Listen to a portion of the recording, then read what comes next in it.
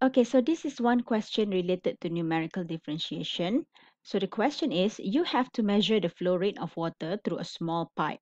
In order to do it, you place a bucket at the pipe's outlet and measure the volume in the bucket as a function of time as tabulated in this uh, table.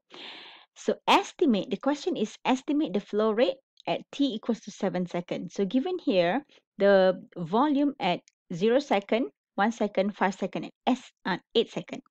So they ask you to estimate the flow rate at 7 seconds. Automatically, when they ask for flow rate and given volume and time, you know that you have to do differentiation. If you differentiate the volume over time, you will get a flow rate, which is in centimeter cube per second. So next is uh, you look at the point and see whether they are equispaced or not.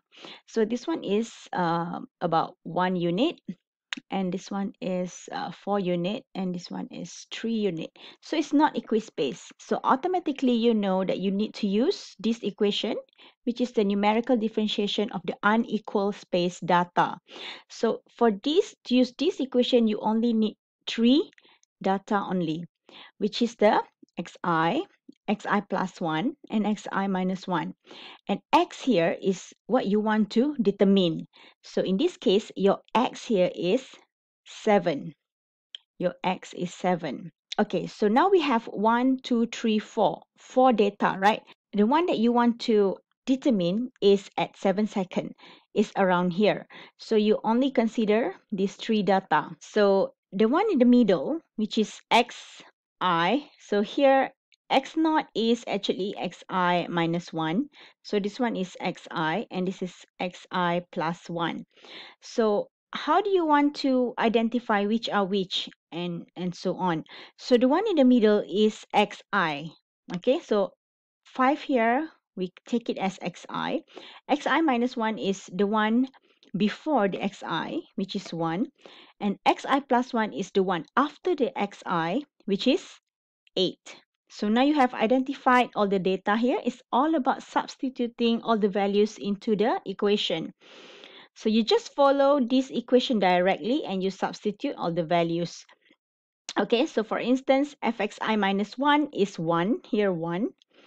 Um, and then 2x, 2 times 7 minus 5 because this one is minus xi, which is 5, and so on. So you just follow this step and you do your calculation and you will get this flow rate for your answer.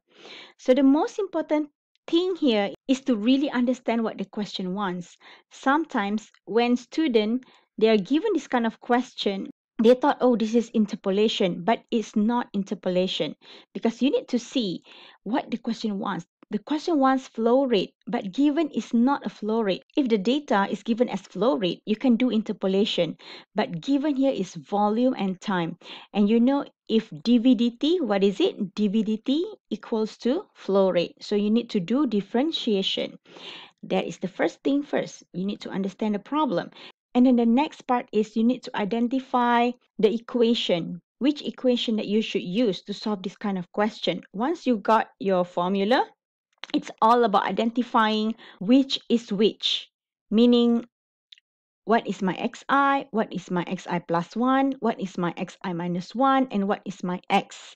Once you got that, it's just a matter of plug in into the equation and solve, and you get your answer. All right, thank you.